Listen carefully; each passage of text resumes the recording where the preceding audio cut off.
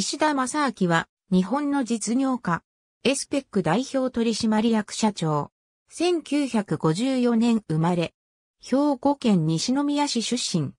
1977年に姫路工業大学工学部を卒業後、多倍製作所入社。2011年より現職。2016年には電気自動車の普及を見据え、エスペックにバッテリー安全認証センターを開設し、毎日新聞のインタビューでその手応えや今後の事業戦略を答えている。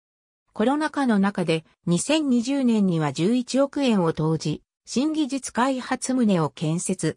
技術開発力の強化と生物多様性保全の推進を目的とした施設としている。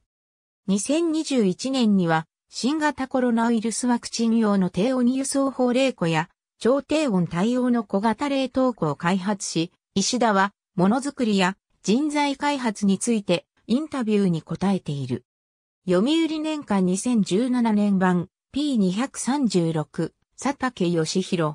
インタビュー最前線エスペック石田正明社長毎日新聞。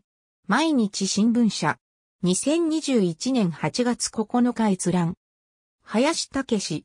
子供と一緒に社内テレワーク、予想以上に仕事ができるその仕組みとは？ニュースイッチバイ日刊工業新聞社。ニュースイッチ。日刊工業新聞社。2021年8月9日閲覧。林武史。コロナワクチン用の保冷、冷凍庫を相次ぎ投入のエスペック、ものづくりの強みの活かし方、ニュースイッチバイ日刊工業新聞社。ニュースイッチ。日刊工業新聞社。2021年8月9日閲覧。ありがとうございます。